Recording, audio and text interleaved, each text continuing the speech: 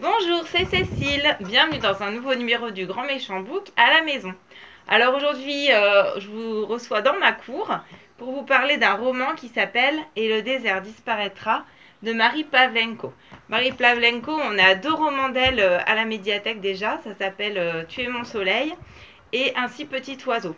Ce sont plutôt des histoires réalistes qui parlent d'héroïnes qui ont plutôt des problèmes, mais avec un ton très humoristique et avec une écriture vraiment euh, euh, hyper chouette, hyper dynamique, euh, beaucoup d'humour, voilà.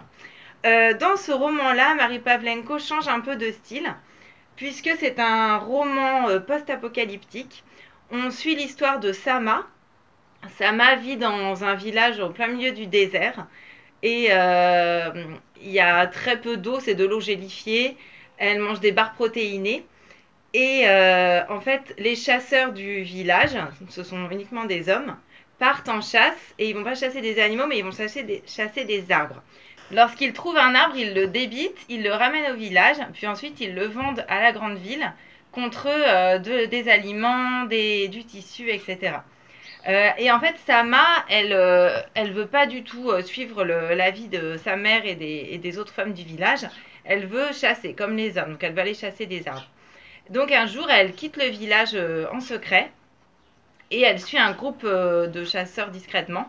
En fait, elle finit par se perdre et elle se retrouve toute seule au milieu du désert euh, avec des bêtes qui rôdent, le sable, le manque d'oxygène, pas grand-chose à manger, pas grand-chose à boire.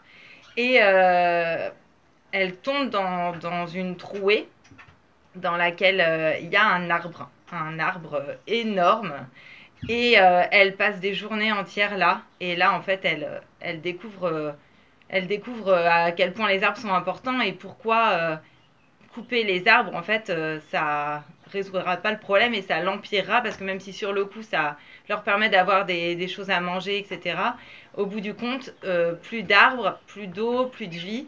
Et en fait, elle comprend, elle réalise l'importance des arbres et pourquoi les couper empire en fait leurs leur problèmes et leur mode de vie. Euh, donc c'est un roman euh, vraiment très poignant, une fable écolo. Euh, il est facile à lire parce qu'on suit toujours la voix de Sama. Et quand elle est dans sa trouée, on sent, on est enfin, le, style, les paragraphes très courts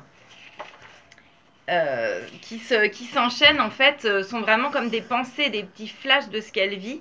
On n'a pas ses émotions et sa vie quotidienne tout le temps, mais on a comme des petits flashs de ce qu'elle fait, de ce qu'elle vit, de ce qu'elle ressent. Et euh, au fur et à mesure du temps qui passe, on voit qu'elle perd en force, qu'elle perd en lucidité, qu'elle a l'impression qu'elle pourra jamais sortir de là et qu'en fait elle a découvert quelque chose de très important.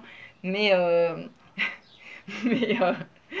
merci le chat, mais qu'au bout du compte, elle va le garder pour elle ce secret et que personne ne le saura jamais. Euh, voilà, donc vraiment un roman qui fait du bien parce que euh, on a besoin de romans qui parlent d'écologie, mais pas de manière moralisatrice, mais, mais voilà, de juste c'est très basique, c'est vraiment un arbre, qu'est-ce que ça a fait et en quoi ça peut en fait sauver tout le monde. Et vous inquiétez pas, ça finit bien. Voilà, donc je vous conseille ce roman de Marie Pavlenko que vous retrouverez à la médiathèque dès que la médiathèque aura rouvert ses portes et qu'on aura re le droit de se voir. Et n'hésitez pas aussi à lire ces deux précédents romans qui sont vraiment euh, des chefs-d'œuvre de la littérature ado des dernières années. Voilà, je vous dis au revoir et à bientôt pour un grand méchant book à la maison.